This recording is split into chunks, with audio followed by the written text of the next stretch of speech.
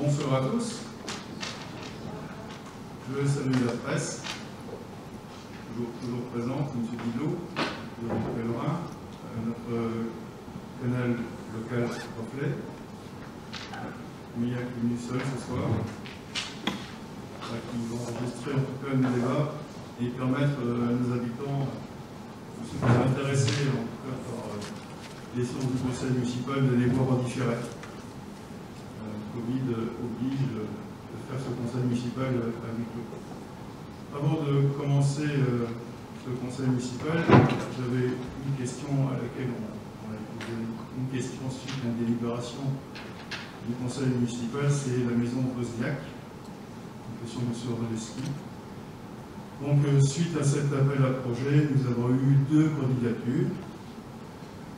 une de, pour la maison d'assistance maternelle, euh, qui en fait s'avère que ces locaux sont trop grands en tout cas pour l'accueillir. Et une deuxième d'un restaurateur étangeois euh, qui est intéressé pour euh, faire un, système de restauration avec terrasse et extension future de chalet, en tout cas sur l'arrière. cet appel à projet, on avait défini dans notre délibération du conseil municipal l'investissement serait à zéro. Voilà, le, business plan qu'il a, prévu euh, prévoyait en tout cas euh, des travaux conséquents pour transformer l'ensemble de la cuisine, euh, un bar, une terrasse, une véranda à 350 000 euros hors taxes, plus un déménagement au fond pour un montant de 550 000 euros hors taxes. Voilà, ce restaurateur était fortement intéressé, il est toujours fortement intéressé. Euh, de par la position, euh, je centrale euh, du bâtiment, avec le parking à proximité, la centrale. Et malheureusement, ce restaurateur a, un autre projet sur, sur les Grandes. ce projet qui est en cours, il bénéficie d'un prêt bancaire garanti par, une banque. Et naturellement, vu la période de Covid, la banque lui a refusé le prêt et donc euh, l'argent qu'il avait prévu pour investir euh, sur notre projet en nous, en fait, il ne peut pas assurer deux fois le financement. Et il se voit mal aller voir les banques à l'heure actuelle pour redemander un montant conséquent. Et donc, il regrette en tout cas de ne pas pouvoir répondre à notre appel d'offres dans le sens où la commune désirait investir zéro euro.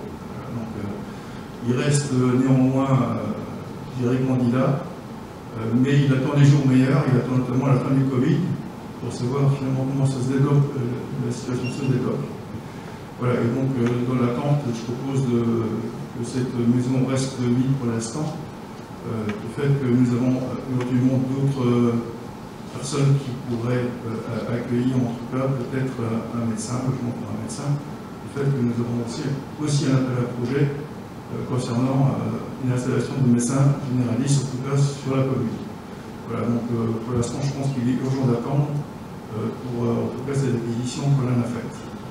Voilà pour répondre à votre question, Sotrevski, sur en tout cas, voilà, période de Covid nous aide pas. voilà, donc par rapport à,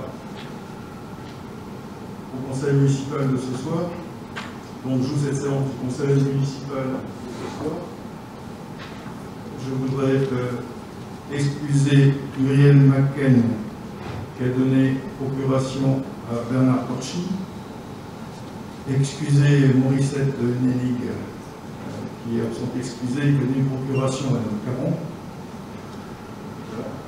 Ensuite, l'ensemble des autres personnes sont tous présentes. Donc, nous pouvons donc le corps est atteint et nous pouvons préalablement délibérer. Le secrétaire de séance, le plus jeune, Ludovic, tu acceptes cette tâche d'être le secrétaire de séance? Oui D'accord, merci. Donc, premier point euh, à l'ordre du jour, approbation du conseil normal, alors compte rendu du 2 décembre 2020. Y a-t-il des questions? Oui, sur le Jean, tu peut-être prendre le micro pour que.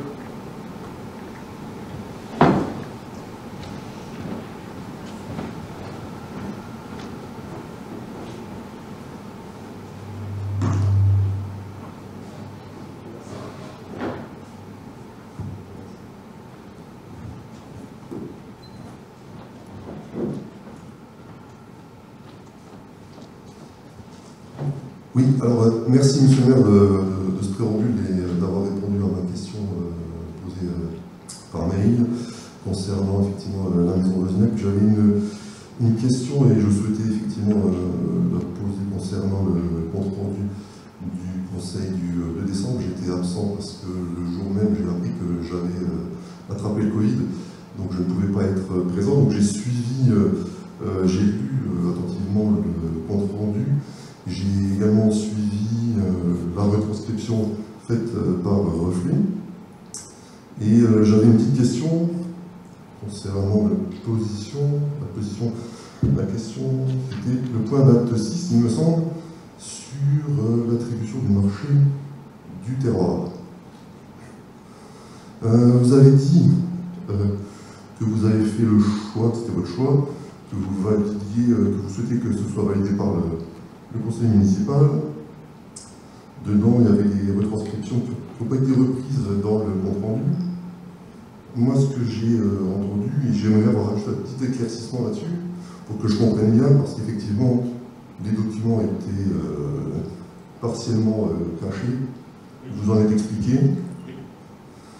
je voulais juste savoir si, quand vous dites que c'est votre souhait, votre choix vous avez fait vous-même le classement, est-ce qu'il faut entendre que vous êtes la seule personne à avoir établi l'ensemble des documents, mis vous-même les notes, et c'est de par ce fait que c'est votre choix euh, qui en est ressorti J'ai travaillé avec la directrice générale des services et, moi-même. Euh, nous avons fait un duo, en tout cas, sur euh, le travail collaboratif entre une directrice générale des services et moi-même. D'accord, oui, effectivement, je pense que vous avez dû être aidé pour l'établissement de la grille, des choses comme ça. Voilà, et puis que c'est vous qui avez donc tout rempli, toutes les informations euh, selon votre choix et vos, critères que vous avez euh, décidé de mettre en place alors. Absolument. Et donc personne ici n'a participé? Non. Je vous remercie. Voilà, c'était votre question Oui, c'était certainement ma question parce que, effectivement, dans. Oui, dans le compte rendu, ça ne, ne paraissait pas aussi clair, et euh, dans les discussions qui étaient peut-être un peu animées, euh, non plus. Là maintenant c'est clair, vous avez tout fait vous-même, vous avez euh, mis les notes, rempli les documents, donc pour moi c'est clair. C'était fait avec la directrice de la service. Oui, oui, oui, mais quand je dis vous, c'est en tant qu'élu, je ne considère pas la personne, ni la directrice générale, ni les aides que vous avez pu avoir au service avec les agents territoriaux qui ont évidemment peut-être posté, publié, etc. Merci. Répond à votre question. Oui. D'autres questions Bon, donc on va passer au vote. Qui s'abstient 3, 4, 5 abstentions.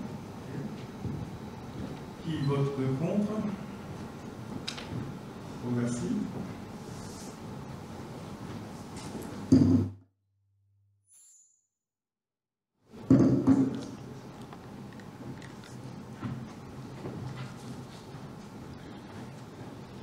Point numéro 2, approbation du procès verbal de la compte rendu du 28 janvier 2021.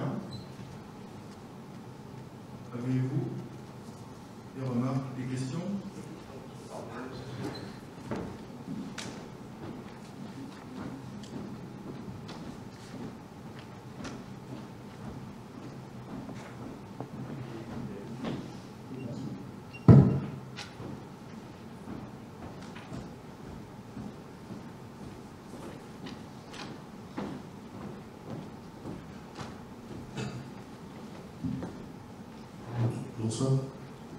Euh, on a envoyé au conseil municipal euh, un mail le 7 février suite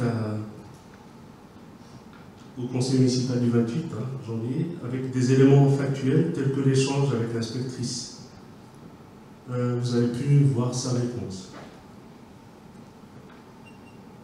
Vous avez donné suite à notre mail hier seulement, donc en communiquant les deux courriers du Gazen, pas celui de l'inspectrice n'y a pas eu de courrier d'inspectrice, on a eu un entretien oral dans mon bureau. D'accord. Merci. On a quand même du temps à avoir du Nazen, mais bon, ils sont arrivés. Donc, Euh, je reviens à, cette histoire de, mensonge, vous n'avez pas dit la vérité. Pardon?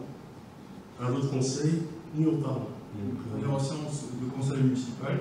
Euh, je peux vous école diffamation pour ce que vous dites. Mesurez vos paroles. Je réaffirme que euh, l'inspectrice Engler, dans mon bureau, a affirmé vouloir fermer l'école maternelle Marie-Laure Marsan. Et j'ai un témoin, c'est Mme Christine Acker. Je n'ai pas inventé. Et ça, c'est la vérité. Donc, écoutez, on ne sait pas. Il y a le, Madame Angler qui a écrit clairement, vous avez vu le, même message que moi. Elle a écrit après, effectivement, parce qu'elle a vu les parents forcément qui étaient forts mécontents, elle n'avait pas dit le contraire. Mais elle n'a jamais démenti non plus qu'elle n'a pas dit. Ah, elle a démenti, elle, a dit qu'elle n'a jamais dit. Bon, c'est pas grave, tant que moi je vous l'ai dit. Voilà. C'est vrai qu'elle n'a pas écrit. je vous l'accorde, elle n'a pas écrit, mais elle nous l'a dit. Après, ça restera des, des paroles en l'air, c'est pas très grave. ce, qui, ce, qui, est grave, c'est que euh, vous, avez, euh, vous avez dit que vous fermiez les marçons, et non, au final, c'est pas moi qui l'ai dit. Vous l'avez dit en commission, puis je pense que vous l'avez dit euh, devant votre équipe. Et vous l'avez même dit devant d'autres personnes. Ça, là, ce n'est pas grave. Je, répète, c'est l'inspectrice, c'est l'inspectrice qui souhaitait, souhaitait fermer Marie-Laure Marsan. Pour une raison, pour une fois, bien simple et compréhensible, ça rejoint Foucault oui, Dazen, c'est qu'ils veulent faire des regroupements. ils ne veulent pas laisser des classes seules. Et le seul argument qu'avait euh, l'inspectrice, c'est de dire si on ferme une autre classe, une autre classe, on va se retrouver à une classe seule, donc c'est contre les directives de, l'académie. C'est pour ça qu'elle souhaitait fermer la seule classe unique pour garder deux classes. C'est la volonté du DAZEN de avoir des écoles avec des classes uniques. Oui, bah dans ce cas-là, attaquez-la plus elle en diffamation que moi. Je, je, non, mais vous dites que je suis comme, comme d'autres personnes ici qui ont entendu la même chose. Euh, oui, vous dites que j'ai menti je j'ai pas menti. En tous les cas, euh, vous vous appropriez cette victoire euh, d'avoir euh, gardé les, la classe ouverte, quoi, les classes ouvertes. En fait, la victoire, elle revient surtout aux, parents qui sont mobilisés. je ne me pas la victoire. Je trouve qu'on était tous unis, en tout cas derrière les parents d'élèves et j'attends pour l'instant le courrier officiel du directeur académique. Voilà. Et j'attends ce courrier avant de communiquer aux habitants. Vous êtes, vous êtes arrivé après la, après la guerre, une fois que les choses se sont euh, mises en, route, que les, les, gens ont manifesté. C'est fausse. C'est fausse. On peut arrêter ce sujet-là. C'est bon là. C'est un, un, conseil municipal, donc on a le droit de s'exprimer.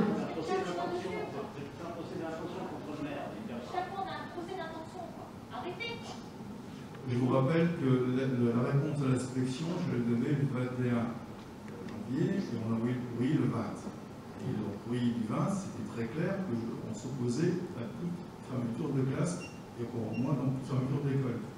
Euh, et, clairement, je me suis positionné euh, après avoir entendu l'ensemble des parents d'élèves. Ah, vous continuez quand même à je continue, à, dire la vérité et les faits sont là. C'est votre vérité, c'est pas celle de. Est-ce que vous avez d'autres remarques sur ce compte rendu? Non, j'avais juste une petite question. Euh, euh, vous avez dit que vous êtes réunis avec votre majorité en, mairie, donc euh, vous avez le droit d'avoir une salle pour vous réunir. Donc c'était une, une réunion politique. Nous, on vous a demandé euh, d'avoir euh, de temps en temps une salle pour nous réunir. Vous nous avez refusé ça le, je crois que c'était le 8 octobre. Oui. Est-ce que vous allez continuer quand même à refuser pour donner une salle? Vous pouvez toujours demander, je vous répondrai. Bah, je vous le demande officiellement ce soir devant le conseil municipal. Pas... On est une commune de 3500 habitants, je n'ai pas voulu trouver une salle. Ah bon? Euh... Vérifiez le texte. Bah, je, veux bien vérifier les textes. On est une commune de moins de 3500, d'accord? Mais on est une commune euh, en budget de l'équivalent d'une commune de 10 000. Donc, euh, pour un moment, on interprète les chiffres comme on veut. Des salles, il y en a à Vietnam. Donc, euh, si vous refusez qu'on, que nous, on, on, ait, une salle comme vous, à un moment donné, ça, c'est grave. Parce que c'est, on, aurait compris si c'était une petite commune, qui n'a pas de moyens, choses comme ça, mais je vous demande officiellement, euh, je ne sais pas, moi, une salle de temps en temps pour qu'on puisse se réunir. Il n'y a, pas de. La réponse est non. Le patron, c'est moi. Je suis chez moi, je fais ce que je veux, voilà, c'est tout. Avez-vous Merci, monsieur Avez-vous d'autres points C'est bon, c'est bon. Donc on va passer au vote. Approbation du procès verbal du 28 janvier. Qui est contre? Qui s'abstient? 3, 4, 5. Approuvé à la majorité. Merci. Point 3 relever les décisions prises par le maire. Donc, euh, dans votre note de synthèse, vous avez le détail de relevé de décision. Avez-vous des questions? Non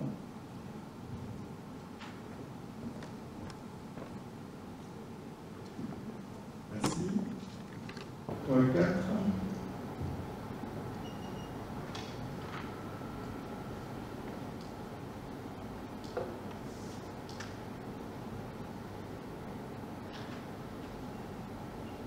Nous avons donc un, conseil d'administration de la régie de télédistribution NS. Aujourd'hui, euh, ce conseil d'administration est toujours présidé euh, par Michel Chili. Donc il faut euh, renouveler en tout cas ce, conseil d'administration. On a un, certain nombre de statuts qui ont été mis en place. On prévoit en fait six membres du conseil municipal et deux sièges sont choisis parmi les personnels ayant acquis notamment l'expérience des affaires, l'administration et de la profession de classe particulière. Donc, euh, côté euh, administration, euh, il y a Émilie Millet et M. Jean-Sébastien Costa. Et je propose de désigner les membres suivants. Bernard Dorchy, Eric Thiel, Muriel Macken, Karine Chapucci, Alain Peña et moi-même.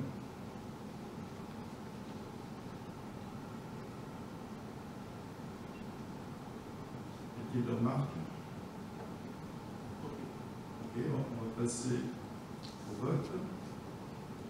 Qui est contre? 5 contre. Qui s'abstient? Personne? On a adopté la majorité.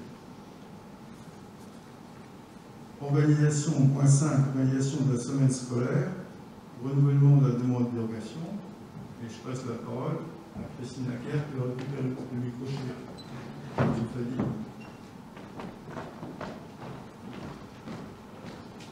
Christine en charge des affaires scolaires a déjà réuni l'ensemble du conseil d'école.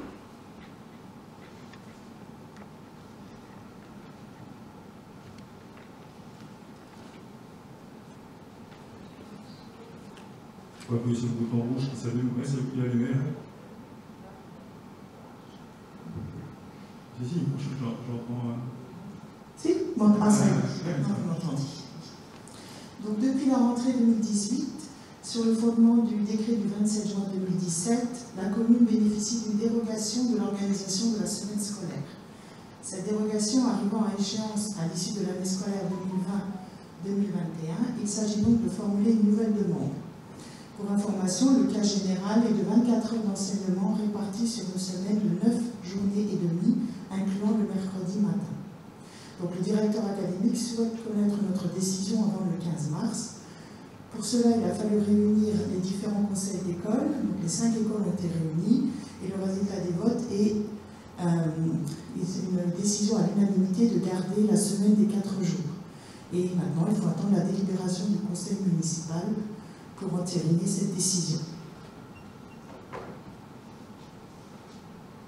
On peut rappeler peut-être les, les horaires. Euh, Vous les avez dans le, Oui. dans, dans la note de synthèse. Oui, les horaires, donc les maternelles 8h15, 11h45, 13h30, 16h, et les écoles maternelles 8h10, 11h40, 13h25, 15h55. Ce décalage a été demandé pour pouvoir récupérer les enfants de l'école élémentaire. Donc les enfants des maternelles sont récupérés avant et les parents ont le temps d'aller jusqu'aux aux écoles élémentaires. Des questions? On va passer au vote. Qui est contre? Qui s'abstient? Unanimité? Je vous remercie.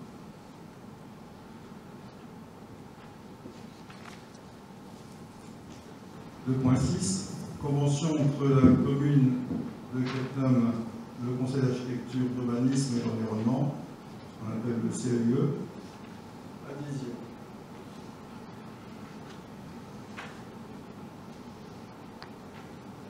La commune de Caton est adhérente euh, à MATEC, en institution, je dirais, qui dépend du département de la Moselle. Ce conseil d'architecture et d'urbanisme est donc de développer la formation, la sensibilité et l'esprit participation du public dans le domaine de l'architecture, de l'urbanisme et de l'environnement. Donc, comme les projets euh, portés par la commune, euh, je vous propose d'adhérer au CIE. Du fait que nous finançons déjà euh, c'est, euh, l'ensemble des- de MATEC de la CE est, est financé par le département de à travers la taxe d'aménagement. Il a donc décidé par la délibération du Conseil du CE en date du 7 juin 2018 que la, toute collectivité déjà adhérente à MATEC et souhaitant adhérer au CE bénéficier d'une adhésion gratuite. Voilà, donc euh, propose de- d'adhérer au CE de Moselle, donc association dont but est de promouvoir la qualité d'architecture, avec le souci permanent de les adapter au contexte local pour toute la durée du mandat et dans les statuts figure en annexe de la présente euh, note de synthèse que vous avez pu revoir, et me mandaté pour entretenir, pour représenter la commune avec voix délibérative de l'Assemblée générale du CAE de la Moselle. Voilà, donc euh, sachez que ce CAE s'est déjà déplacé sur la commune, euh, notamment sur le projet de la Saint-Joseph, que par une délibération que nous conseil municipal sur un appel à projet. Et donc le CAE a déjà travaillé avec nous. Euh, et donc on a lui demandé aussi d'étendre en tout cas notre travail sur l'ensemble de la commune, sur l'ensemble de notre projet, euh, pour qu'on travaille de manière organisée sur l'ensemble de notre commune. Avez-vous des questions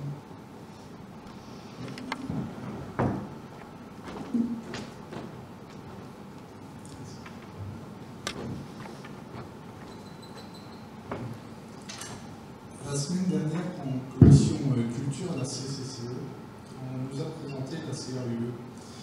Euh, en effet, la, la CCCE a adhéré à la CAUE depuis des années et euh, la communauté de communes octroie euh, depuis 2004 euh, des aides aux particuliers euh, pour le projet de ravalement de façade. Ça va de 2000 à 6000 euros pour euh, les maisons remarquables.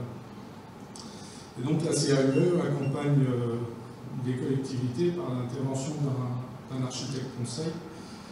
Euh, on avait rencontré Madame Florence Samuel Allemand, je ne sais pas si C'est- voilà. Euh, bon, qui nous expliquait la manière dont elle travaille. Et hors période Covid, elle a même un- elle, elle a même un- elle reçoit même des personnes euh, directement à la CCCE régulièrement.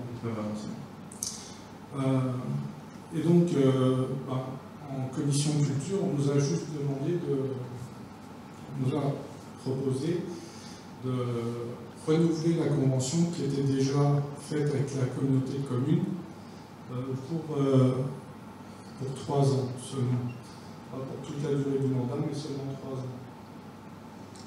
Et donc, euh, déjà la convention de la CCCE, elle précise que de toute façon, cette, euh, est apportée euh, à tous les particuliers et élus de la CCCE. Donc voilà, je m'interroge. Donc la CCCE, par contre, elle, elle paye une, une rétribution, une contrepartie financière de 7500 euros par an. Donc on est par par la CCCE déjà intégré dans ce dispositif. Je ne comprends pas l'utilité de nous, communes, s'intégrer encore une fois dans ce dispositif qui nous est déjà donné directement par la CCCE, puisqu'on on a déjà tous les avantages euh, que nous offre cette, cette adhésion de la CCCE. J'ai fait partie, et tu en as fait partie aussi, c'est la, la commission euh, développement économique.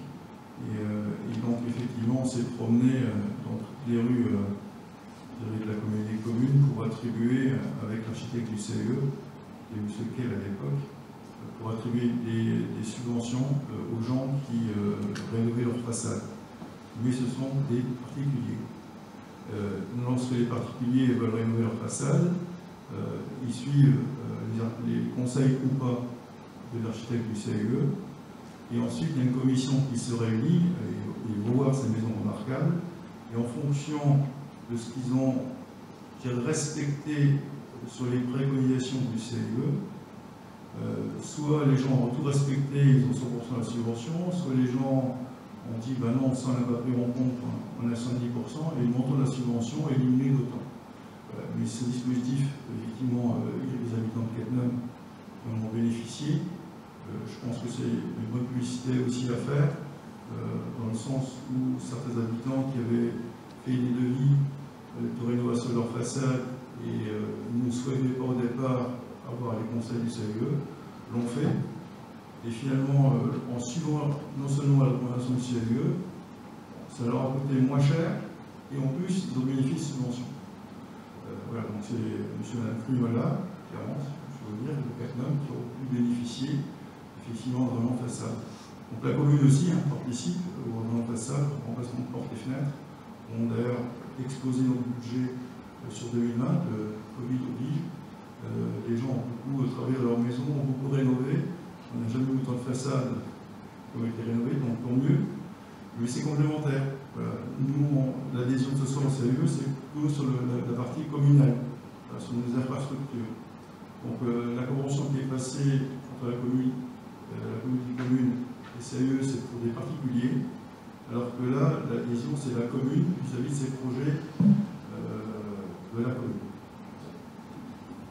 Alors, a priori, euh, pas tout à fait, puisque la convention, alors je dis ce qui était marqué euh, dans notre compte rendu de, cette commission, et dans, les les prérogatives de la CAUE, donc assiste la CCCE en ce qui concerne la modification du règlement d'attribution des subventions, apporte conseil aux particuliers effectivement qui souhaitent ravaler leur propriété. Et le troisième point, sensibilise et apporte un avis architectural aux élus, donc c'est bien à nous, les porteurs sur le dossier pour bénéficier d'une subvention. Donc a priori, c'est, d'après ce que je dis, c'est déjà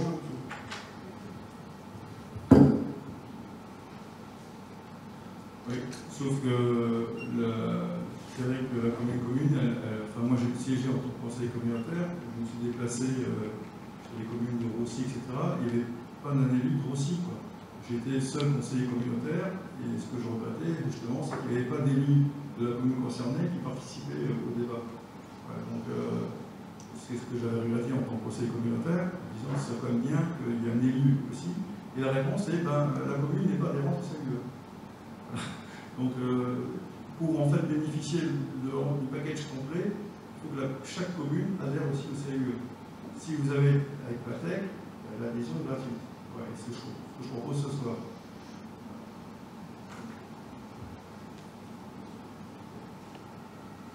Encore des questions? Donc je propose de passer au vote. Qui est contre? Je vous remercie.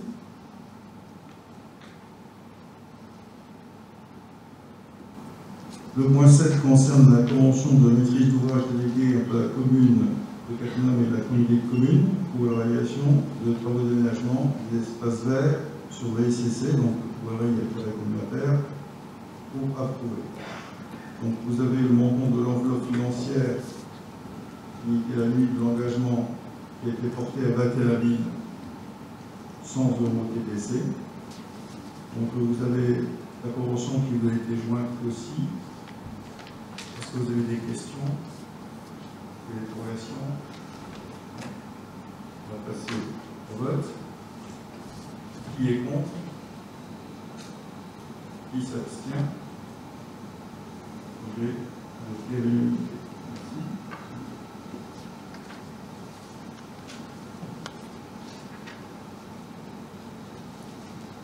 Le point 8, euh, on va devoir la journée, du fait qu'on n'a pas reçu, en tout cas, du PSPG la convention. Donc, euh, je propose de repasser ça au prochain conseil euh, dès qu'on aura la convention.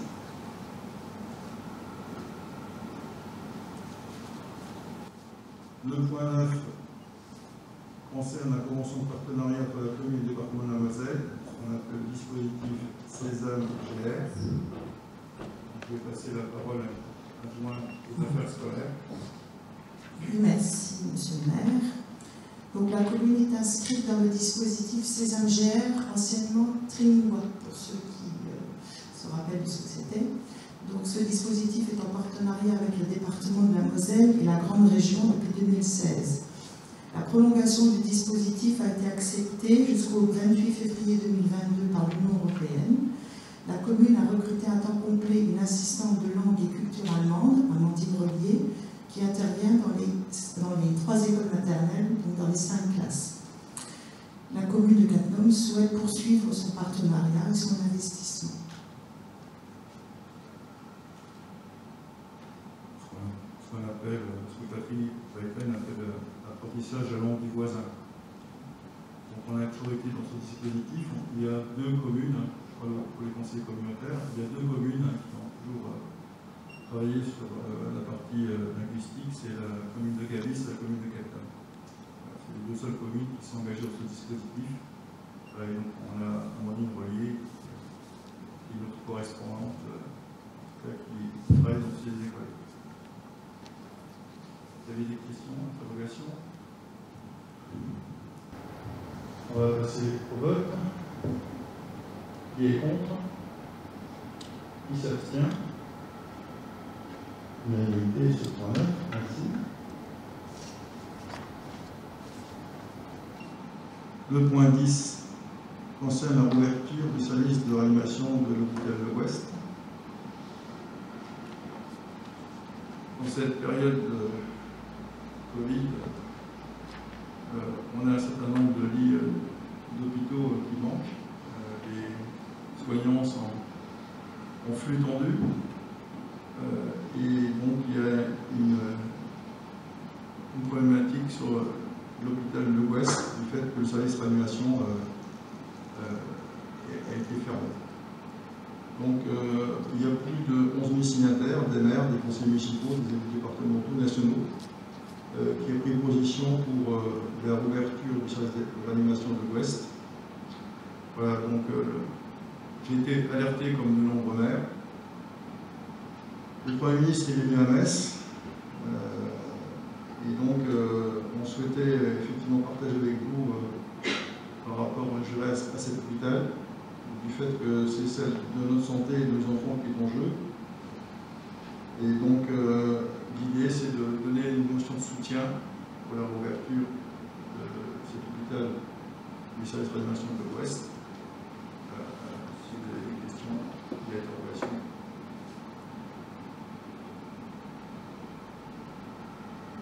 D'accord donc pour porter une motion l'ouverture de cet hôpital de l'Ouest? Qui est contre? Qui s'abstient? Le conseil municipal soutient la motion de réouverture de la Ouest. Je vous remercie.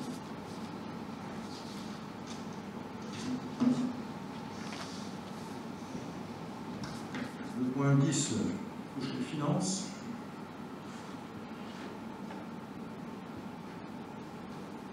Subventions aux associations locales. Donc euh, nous sommes réunis euh, avec la commission des finances le 20 janvier.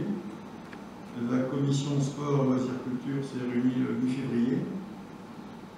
Donc euh, le conseil municipal est invité à trouver les de subventions qui sont de votre note de synthèse. Vous avez tout le détail. Et vous avez un total en tout cas de 156 300 euros.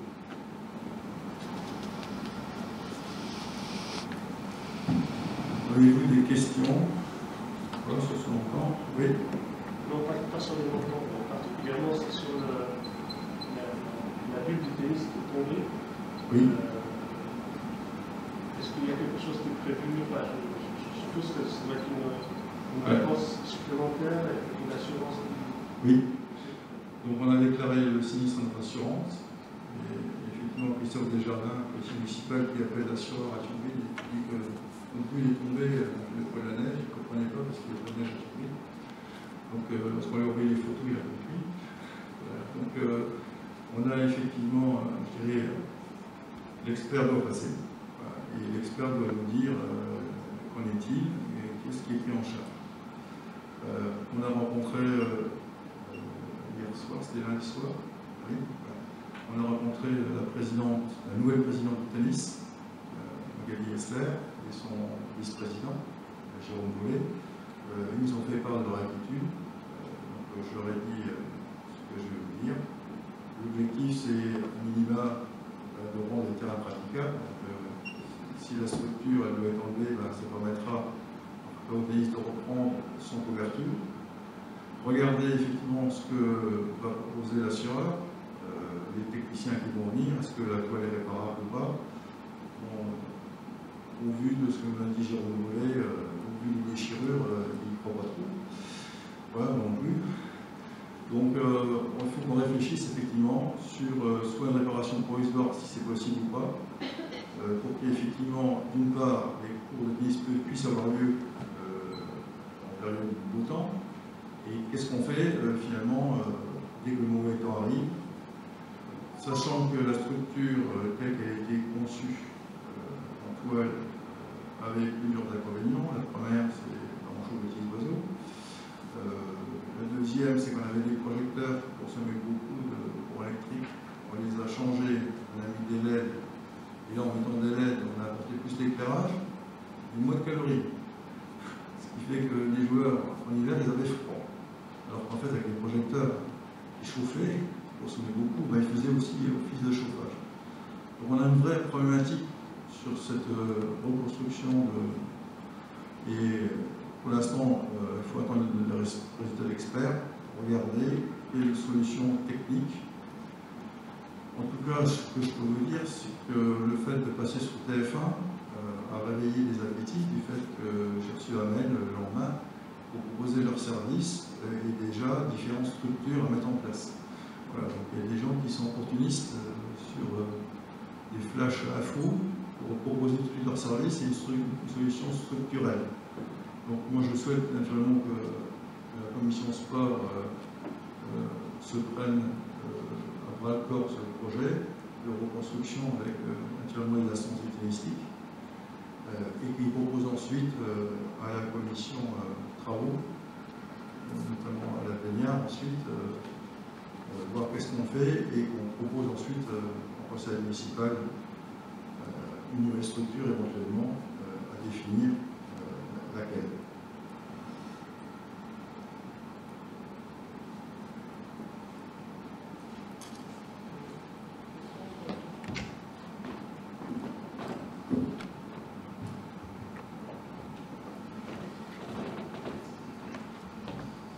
C'est toujours très compliqué de se positionner sur les subventions euh, pour nos associations. On pourrait être le plus impartial possible. Au mandat dernier, au fil des années, nous avons euh, construit et bâti un fichier qui a été la prise de décision euh, pour les élus, qui était en, annexe de la note de synthèse. Donc sur la fin, je regrette un peu ce manque d'informations aujourd'hui, de ne pas avoir ce tableau des associations et des subventions euh, proposées au Conseil. Voilà, ce tableau, il- la variation du nombre d'adhérents d'une année sur l'autre et relocalisation, s'ils habitaient à sur la CCCE ou extérieur au terroir.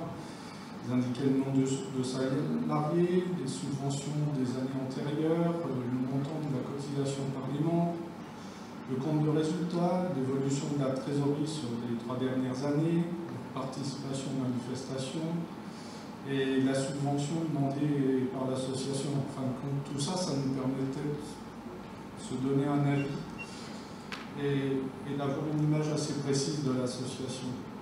Euh, de plus, ce qu'on avait fait aussi, c'est dans la délibération de la note de synthèse, à la fin, ce tableau qu'on a ici était divisé en deux. On avait euh, ce qui était subvention exceptionnelle et puis subvention, on va dire, euh, normale, annuelle, ça nous permettait aussi d'une année sur l'autre, si quand on voyait un total, de ne pas oublier que l'année précédente, peut-être il y avait eu une subvention exceptionnelle qui avait été appelée. Voilà, permettre un peu, euh, voilà. Donc je regrette un peu de ne pas avoir cette information aujourd'hui. Et sur le fond, je suis un peu surpris du total des subventions.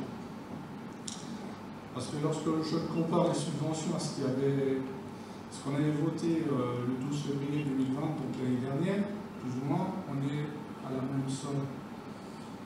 Euh, pourquoi, je, voilà. Et pourquoi je suis étonné, c'est ben voilà, entre le 12 février de l'année dernière et puis cette année, il s'est passé quand même une chose, c'est le Covid. Et, pour une grande partie des associations, ben voilà, c'est un, arrêt de leur activité euh, pendant maintenant plus, plus, ou moins un an. On sait que l'état d'urgence est prolongé jusqu'au 1er juin déjà. Qu'on parle en année calendaire euh, au niveau des, subventions ou en année euh, scolaire, ce qui est normalement le cas pour toutes les associations, plus ou moins pour toutes les associations, c'est l'impossibilité de se rencontrer, c'est pas de compétition, c'est pas d'entraînement, pas de frais de fonctionnement ou très peu, pas de frais de déplacement euh, pour, euh, pour, aller faire des tournois, pas de frais d'arbitrage, et pour les salariés qui étaient là, c'est des aides de l'État. Donc euh, effectivement, aujourd'hui, ils ont peut-être pu recommencer un peu les activités, c'était en septembre-octobre, mais elles ont été de nouveau annulées et une grande partie des associations aujourd'hui sont quand même à l'arrêt. Donc euh, voilà, je, m'étonne un peu qu'on ne prenne pas ça en compte. Et, voilà, moi ce que je proposerais, c'est malgré tout d'inclure ce montant-là euh, dans le prochain budget primitif, mais peut-être se repositionner euh, lorsque le gouvernement aura donner son accord pour que ces activités reprennent et peut-être à ce moment-là euh, se, poser la question euh, de quelle aide les associations auront besoin à ce moment-là où c'est qu'il faudra reprendre. Parce qu'effectivement, euh, si vous avez une association qui ne tourne pas pendant un an, peut-être qu'il y a des adhérents qui vont complètement arrêter, vont se diriger vers autre chose, ou alors peut-être que d'autres associations vont se retrouver avec un afflux d'adhérents, parce que voilà, c'est peut-être euh, plus à la mode et en fin de compte, euh, l'image qu'on pourrait avoir des associations aujourd'hui pourrait être différente euh, lorsqu'on reprend. Alors, les, demandes d'associations, on en voit comme tous les ans les demandes, les toutes les associations, et c'est le fruit aussi de la réponse. Hein, c'est la réponse aussi de leur demande. On a effectivement certains habitants qui ont adhéré à différentes associations pour demander des remboursements. Euh, il y a des, habitants qui ont laissé le montant euh, à l'association. On a eu un petit peu tous les cas. C'est un débat qu'on a eu encore euh, aussi hier en bureau communautaire avec la même problématique. Et David Robinet, vice-président aussi sport, loisirs, etc., disait justement que sur 2021, on n'aura pas non plus effectivement beaucoup d'activités et que finalement c'est à la reprise complète des activités et je suis assez d'accord avec lui, c'est surtout sur la demande de subvention 2022 qu'on verra la demande éventuellement, parce qu'on aura, un effet réel. la question aujourd'hui, c'est qu'on a une aide de, l'État, sur les, ceux qui sont salariés, euh, est-ce que est-ce que cette aide doit continuer jusqu'au 1er juin Je le souhaite. Voilà. À partir du moment où il y a des charges personnelles, il y a des choses à payer. Voilà. Il y a Recher qui fait la parole. Non, non, c'était juste pour, euh, pour répondre à Hervé, parce qu'en commission, effectivement, on a eu euh, ces chiffres, on a vu ces chiffres-là, donc euh, c'était euh, les clairs, euh, on a vu. Donc, ce serait quand même bien que l'ensemble du conseil dispose aussi de ces éléments-là pour, euh, pour être éclairé, tout simplement. Mais effectivement, Karine a bien expliqué euh, euh, avec les tableaux, avec les, Les tableaux Excel ont été travaillés en commission. C'est-à-dire que. Je voulais dire, je voulais dire ça, en effet, que ça avait été vu en commission, à la fois des finances et en commission en sport. euh, L'ensemble des, des débats autour des, euh, de l'attribution de subventions ont été vus euh, voilà, dans ces deux commissions, donc le, travail a été fait. Euh, voilà, c'est pour ça que je m'étonne de, ta question. Et, je voudrais dire, euh, voilà, il- il- ça serait un signal horrible de baisser les subventions dans ce contexte aujourd'hui à nos associations qui font au mieux pour, pour essayer encore de, de faire subsister un semblant de lien social. Voilà, donc je m'inscris totalement fou dans, ton propos. Moi, je, voilà, euh, je, je, je maintiens qu'il faut, euh, faut maintenir ces, subventions hein, au, au taux auquel euh, on, a simplement répondu en fait aux demandes des, associa- des, des associations. Euh, voilà, donc je trouve que euh, la, mairie fait un, le conseil municipal doit, se positionner très très favorablement à ces propositions de soutien aux associations. Si je peux juste rajouter, la, la commission euh, Oui. d'accord avec, euh, avec ces chiffres-là. Simplement, c'est juste la communication de, de ce tableau-là, ce serait bien que tout le monde. Euh, une. On, mettra, on pourrait mettre un ex quand on dit si vous. Voilà, Ça, vous aurez le détail. Juste répondre. Euh, je pense que dans mon propos, j'ai jamais dit qu'il fallait diminuer les subventions. Euh, ça, c'est la première chose. Effectivement, ce tableau, effectivement, je me retrouve aujourd'hui avec un tableau à voter où c'est que, ben voilà, j'ai pas ces informations-là. Euh, je pense que ces, ces choses-là ne sont pas votées en commission, elles sont bien votées au niveau du conseil. C'est pour ça que j'aimerais avoir ces, C'est c'est le résultat du travail de la commission. euh. D'accord, mais malgré tout, c'est quand même voté ici, c'est pas voté en commission. J'ai jamais dit non plus que, que je voulais que baisser les subventions. Je pense que ça n'a pas été mes propos. Je disais juste seulement, effectivement, et je rejoins euh, Monsieur le maire là-dessus, c'est au niveau de la reprise qu'effectivement ça va être compliqué et que ce serait peut-être à ce moment-là qu'il aurait fallu réévaluer les subventions avec les associations pour se, donner les moyens et donner les moyens aux associations de redémarrer plus rapidement sans avoir entre des. Voilà. Juste un dernier petit mot. Euh, je- Est-ce qu'il serait possible que toutes les associations passent euh, en commission euh, sport, euh, culture euh, Parce qu'on a trois associations qui passent en commission de finances le, le euh, C'est comme si la commission. euh, disons, on n'avait pas la compétence pour euh, juger de la, de la sub- des trois communes, euh, pardon, des trois associations qui demandent Oui. Il y, a, il y a trois associations effectivement qui sont accompagnées. C'est euh, c'est effectivement le 4 mots, c'est c'est l'arcade. C'est vrai. Euh, on fait partie euh, effectivement de la convention euh, qu'on a déjà passée et qui sont traités euh, effectivement par ailleurs avec des membres du conseil municipal qui, font partie en tout cas de ce conseil d'administration. Parmi les- ces associations, y a-t-il euh, des gens qui sont membres de clubs, qui font partie du comité, etc., participer euh, La femme du président de la République, on retire le vote.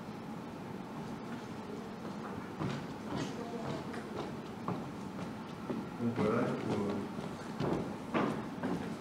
donc C'est bien, vous n'avez rien dit. Moi aussi. J'ai envie de vous dire que c'est un coup. Mais je sais pas. En tout cas, dans le cours. l'association qui aurait monté aussi. là. Personne a, a quelqu'un de sa famille dans le comité directeur Non. Bon, on peut probablement délibérer. C'est pour le point 12, hein, c'est ça Bon, on, là, pour l'instant, on vote le point 11 et on vote les 156 300 euros. Voilà, donc qui est contre Qui s'abstient Donc, à l'unanimité des gens présents, sachant qu'il y a deux représentants qui ont quitté la salle. On peut les faire revenir.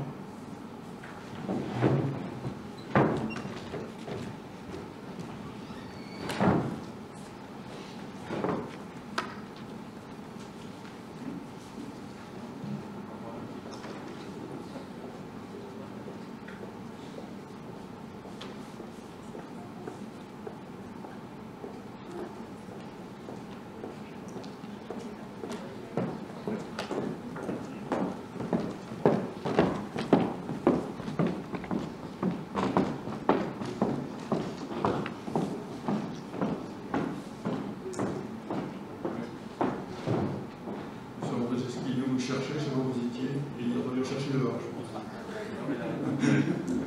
Alors voilà, c'est revenu tout seul. Merci, monsieur Montesquieu. On va passer au point 12. Subvention allouée aux actions extérieures. Donc là aussi, vous avez le tableau. Euh, alors, votre tableau euh, fait un montant de 5300 euros.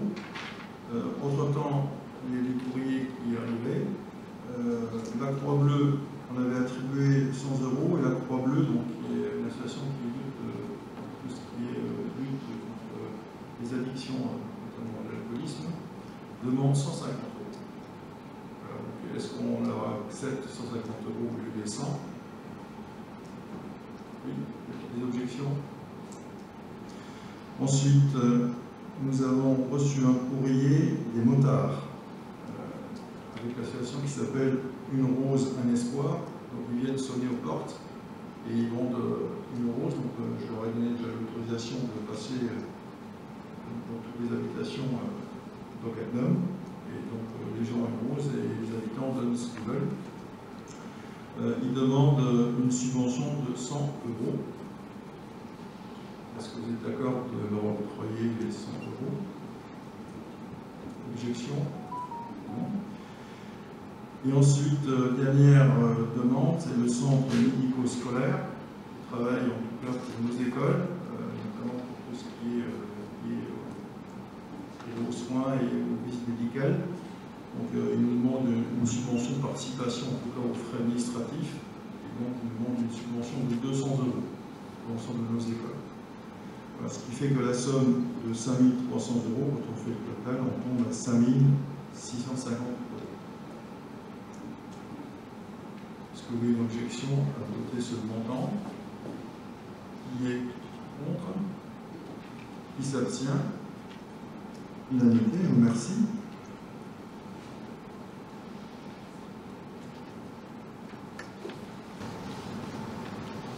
Le point 13 concerne les subventions allouées aux associations Catnum Loisirs Culture, Arcade et les Catnum.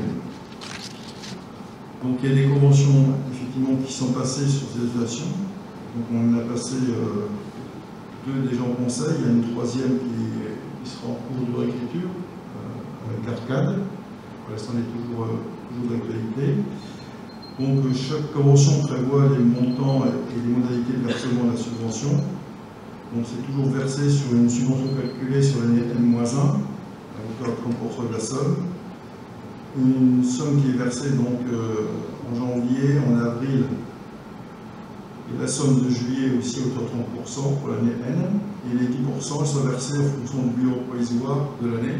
En fait, on rencontre ces, ces associations, euh, on fait un bilan financier sur la projection euh, des, des huit premiers mois, on regarde leur reste de trésorerie, en fonction du reste de trésorerie, on attribue euh, un, reste, un reste ou pas. Donc, une fois une liste, ça suffit. Euh, et donc, on fait un bilan, en tout cas, en fin d'année. Donc, ces demandes de, de subvention euh, ont été actés lors du conseil municipal du 2 décembre pour euh, Catmon Culture et Catmon. Ils ont été présentés en- lors de la commission des finances du 20 janvier et de la commission sport, loisirs, culture du 8 février. Il me semble que. D'accord. Donc, euh, ça n'a pas été présenté, voilà. Justement, c'est ce que je disais avant. Voilà, donc, euh, vu euh, les délibérations du conseil municipal du 2, euh, notamment pour CLC, vu la délibération du conseil municipal du 16 décembre 2016 pour la collaboration avec Arcade et la commune, pour tout ce qui est gestion de la division locale à la médiathèque, et vu la délibération du conseil municipal du 2 décembre 2020 sur l'association du 4 mots, donc, vous avez le montant des subventions euh, qui est à fixer pour 2020. Et ce montant des subventions, il faut qu'on le vote pour, en fait, euh, au niveau de trésorerie, pouvoir euh, verser en tout cas ces différentes sommes. Donc les crédits sont, seront inscrits au budget primitif 2021. Donc euh, nous verrons euh, l'ensemble du budget communal lors du conseil municipal du 10 mars. Avez-vous des questions sur ces subventions? C'est juste une question, mais comme vous avez, dit que la, la convention arcade était en agriculture, donc moi je poserais juste une, question par écrit à, vous.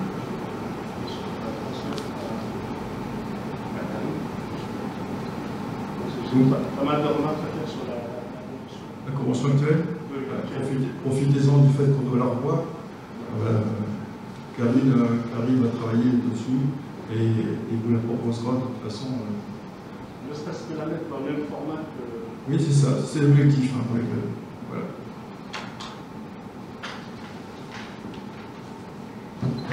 Très bien, on va passer. Alors, les gens qui quittent la salle, en fait, Oui. font partie du comité directeur. Y a-t-il d'autres personnes qui font partie du comité directeur Donc, Karine quitte la salle du fait que son mari est président de Catron.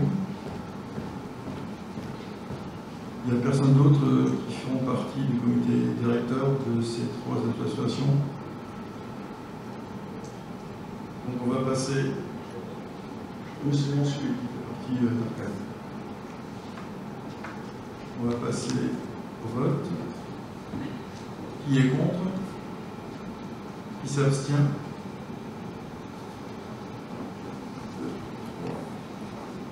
4, 5. 5 abstentions.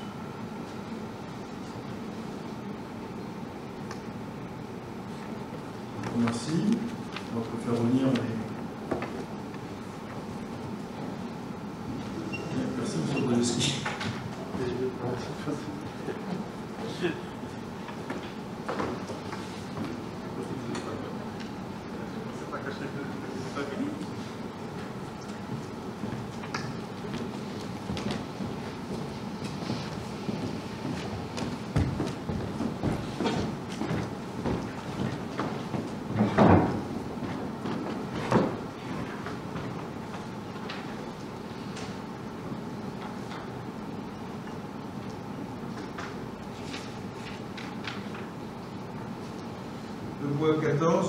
14, subvention allouée à l'association sportive du collège de Cattenom.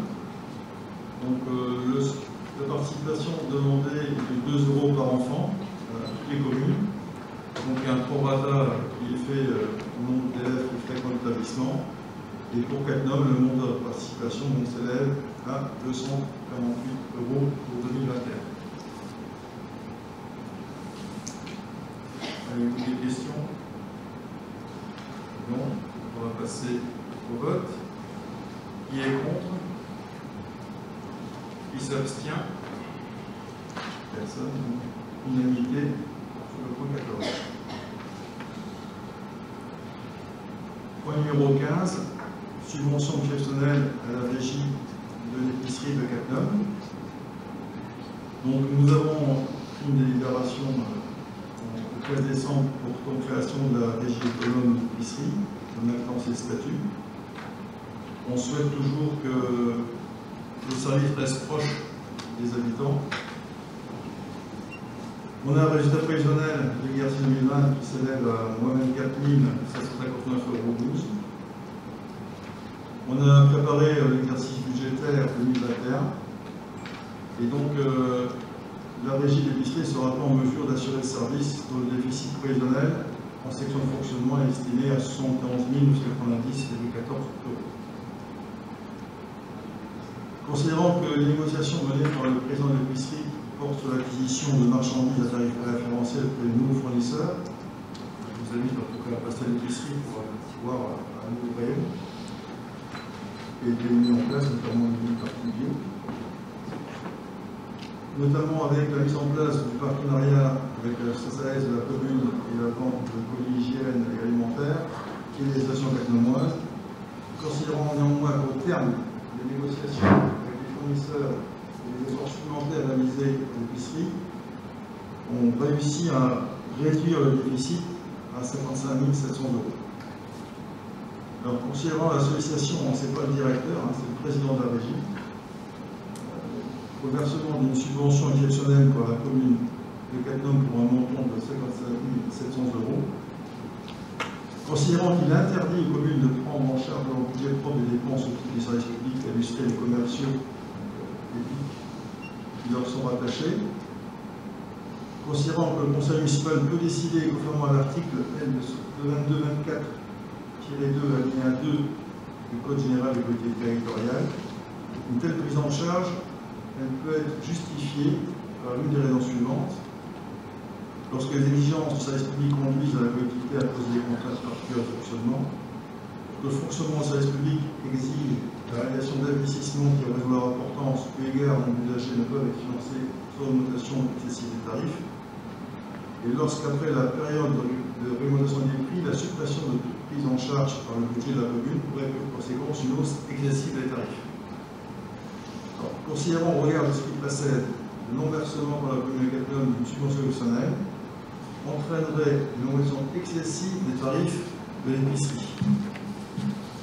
Autrement dit, on euh, à lieu d'être margé au lieu de 100%, on devrait marger à 357% au lieu de 50% et à 76%.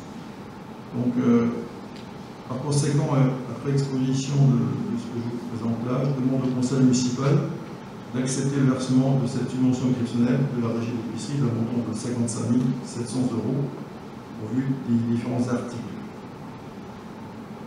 Est-ce que j'ai été clair? Est-ce qu'on sait pourquoi euh, on perd 55 700 euros? Ben, C'est, encore une fois, c'est les charges personnelles qui pèsent et, et pas assez de rentrée d'argent, malgré euh, une période favorable, d'aller avril, avril 2020 à juin 2020, on a doublé chiffre d'affaires parce que les habitants venaient à l'épicerie à cause du confinement. Euh, les gens ont repris les habitudes d'aller dans les commerces extérieurs et donc euh, forcément euh, le chiffre d'affaires lié au fonctionnement de l'épicerie avec les charges de personnel n'arrive pas à couvrir en tout cas les besoins que les tarifs qu'on fait. La seule façon d'équilibrer serait de monter les tarifs. et si on monte les tarifs, on, a l'épicerie. Personne ne viendra. D'où la projection qu'on essaie de faire pour que l'épicerie reste abordable en tout cas pour les habitants. Et la seule manière que ça reste abordable, euh, bah, c'est que la commune verse une subvention. Alors dans le cadre euh, de notre réflexion, au-delà de cette libération qu'on va prendre ce soir, on sait très bien qu'avec la libération qui est c'est une lourdeur administrative assez difficile à l'heure actuelle.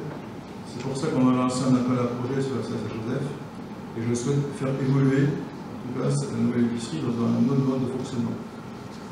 Donc, euh, pour une fois, l'architecte du CME est venu, on a organisé Saint-Joseph. Euh, il faut qu'effectivement, on lance un appel à projet et j'espère que euh, un certain nombre de personnes, je vais faire un peu de pub, hein, Casino, Continent, Carrefour, Leclerc, puissent proposer en tout cas leurs services et donc euh, avoir des tarifs beaucoup plus attractifs. Aujourd'hui, ce qui nous plombe un petit peu dans l'industrie, c'est qu'on a, on doit avoir des pâtes Barilla, des pâtes Panzani, on n'a pas le droit de vendre, par exemple, des, des, pâtes de marque Leclerc. on est obligé, de, par le statut de la régie, de vendre des produits de, de grandes, de grands cachets. Donc forcément, c'est des prix plus chers. Et, donc, euh, encore une fois, on a un déséquilibre. Donc, euh, je souhaite faire évoluer, euh, cette épicerie dans, les années futures.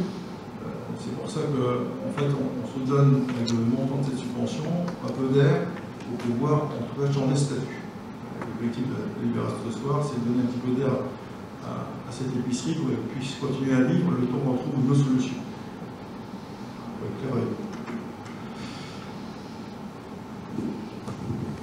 J'ai une question qui est la chance que cette subvention soit acceptée par le contrôle de l'égalité, parce que lorsque je dis les, trois possibilités, euh, exigence du service public euh, la collectivité à, imposer des contraintes particulières, je n'ai pas l'impression qu'on se retrouve dans euh, ce cas-là. Lorsque le fonctionnement du service public exige la réalisation d'investissements, on ne parle pas de d'un budget d'investissement, mais ça rentrerait bien dans le fonctionnement de l'épicerie. Et puis, euh, on n'était pas non plus dans une réglementation des prix, j'ai l'impression. Donc, euh, j'ai l'impression qu'il n'y a aucun des trois articles-là qui rentre euh, ça. Donc, je me pose la question est-ce qu'on va pas se faire protoquer malgré tout Et est-ce que ça va rester légal Et est-ce qu'on va y arriver?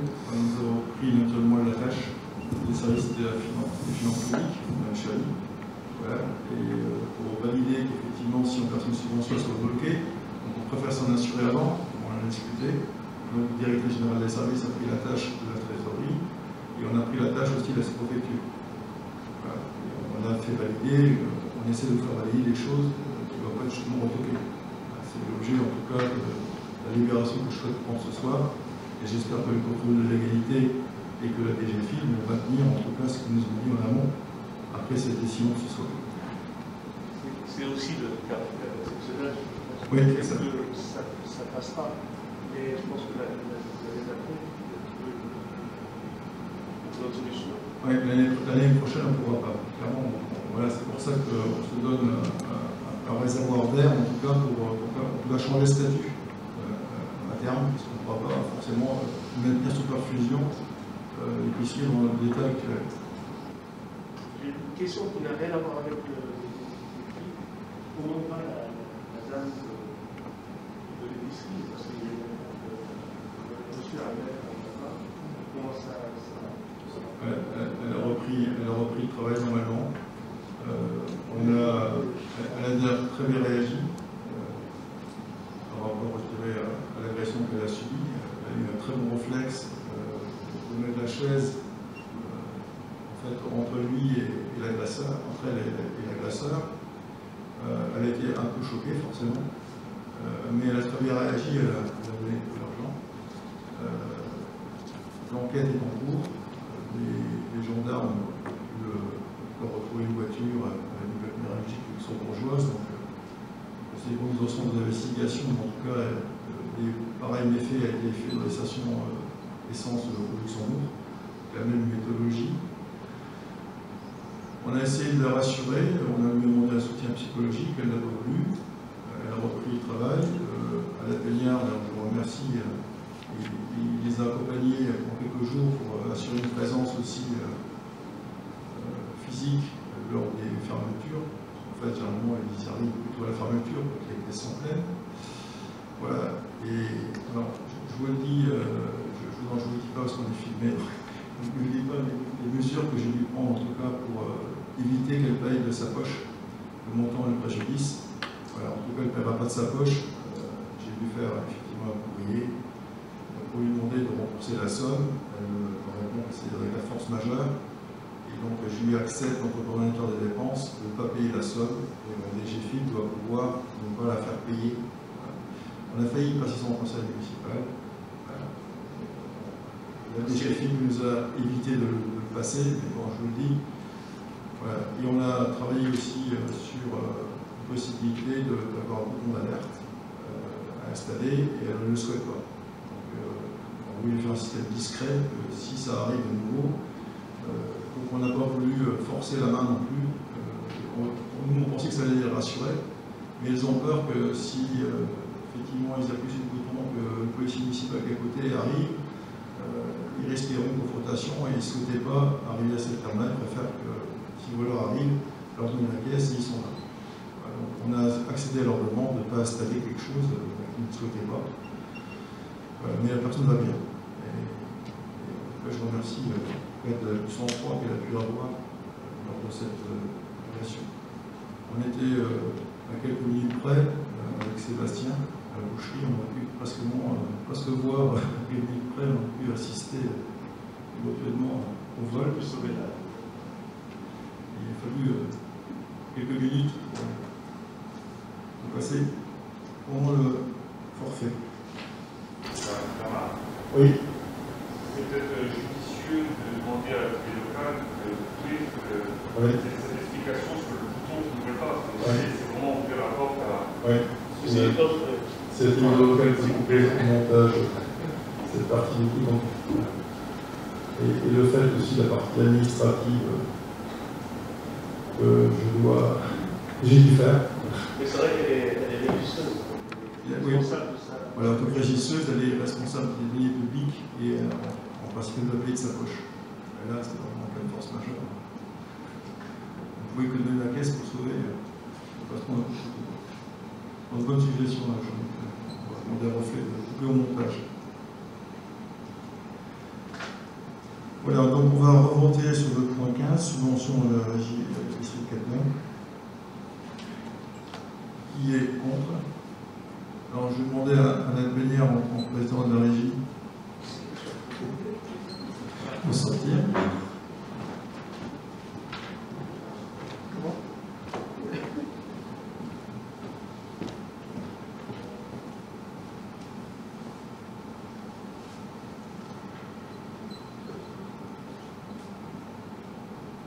Voilà, on va passer au vote. Qui est contre Qui s'abstient 5 Merci. On peut rappeler. euh,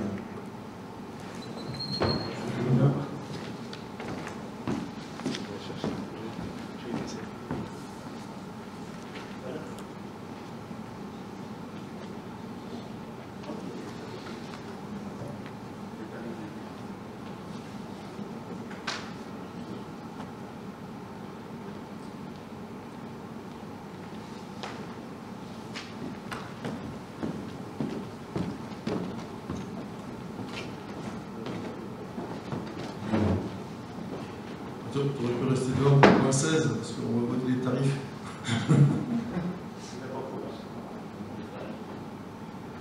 Le point 16 sont les tarifs de l'épicerie. Euh, donc euh, vous avez reçu. Euh... Ouais, qui peut rester pour le. qui fait partie du conseil municipal et pas impacté par les. C'est pas toi qui perçois l'argent. Voilà, les tarifs de l'épicerie, donc on voit envoyé le tableau et on vous a mis ce qui changeait. J'espère que ça, ça va aider en tout cas. Donc c'est lié aussi aux fournisseurs négociations euh. Voilà, donc euh, avez-vous des questions sur le tarif d'épicerie Non? On va passer au vote. Qui est contre? Qui s'abstient? 5 abstentions.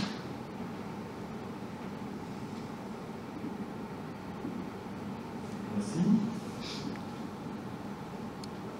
Le point 17 est la création d'un emploi d'ingénieur territorial en de ressources humaines. C'est au conseil municipal donc fixer les effectifs des emplois à temps complet, des temps non euh, au niveau des services. Et donc il faut modifier euh, les le tableau emplois pour mettre des avancements de grade. Le responsable des services techniques a été admis à l'examen d'ingénieur territorial avec une très belle note. Voilà, on peut, peut que le féliciter. Donc je propose que ce- création de ce poste dans le territorial permanent à complet à compter du 17 février 2021. Donc date d'aujourd'hui, délibération du Conseil. Avez-vous des questions? Interrogation Non? Qui est contre Qui s'abstient Je vous remercie. Unanimité. Le point 18, la création d'un emploi d'adjoint technique principal deuxième classe. Donc c'est les mêmes motifs pour la délibération. Donc on a un agent mécanicien espace vert qui est admis au concours d'adjoint technique principal deuxième classe. Donc là aussi, félicitations à lui. Et donc je propose euh, à l'Assemblée la création d'un emploi d'adjoint technique principal deuxième classe permanent, pas complet, à compter du 17 février 2020. 21. Le Conseil donc, a été accepté cette création temps complet. Avez-vous des questions, interrogations Non? Oui? C'est quel métier? C'est mécanicien à l'espace vert. C'est c'est service garage espace vert.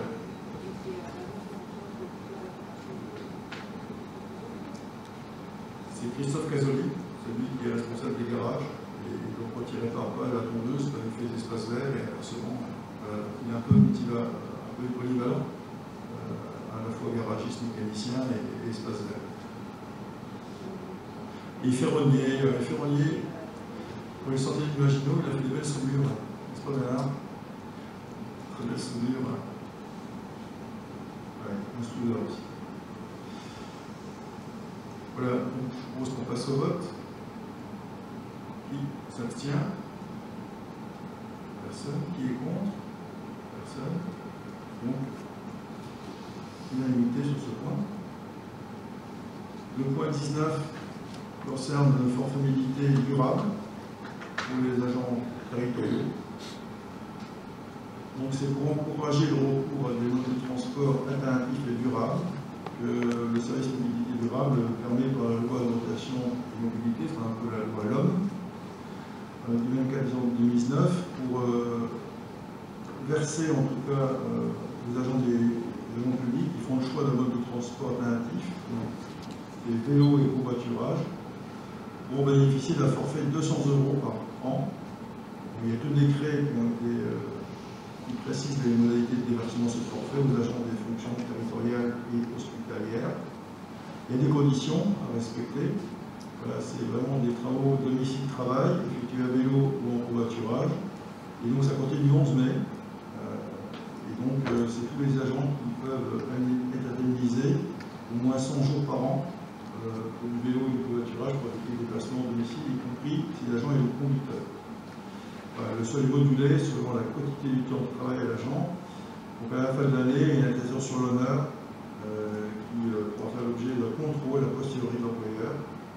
Et l'agent bénéficie à ce moment-là d'une indemnité forfaitaire exonérée d'impôts et de prévention.